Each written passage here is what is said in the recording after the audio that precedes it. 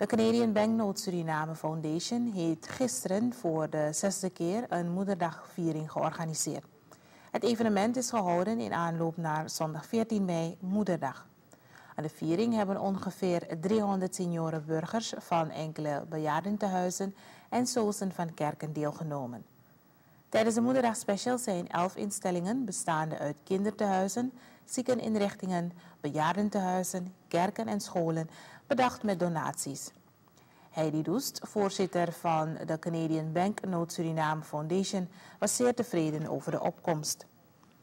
De viering heeft een jaarlijks terugkerend karakter en voorziet volgens Doest in een grote behoefte van de seniorenburgers, namelijk op een gezellige en aangename wijze de dag doorbrengen. De CBNS Moederdagviering is gisteren gehouden te Matagori aan de Quataweg.